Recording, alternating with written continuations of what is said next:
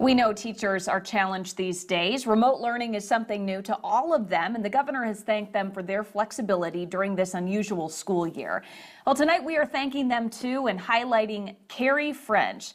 She is a second grade teacher at Forsyth Country Day School. Her husband tells us she has put in 14 to 16 hour days setting up classroom videos, becoming an expert on Zoom, and training parents and kids. I love her classroom setup there too.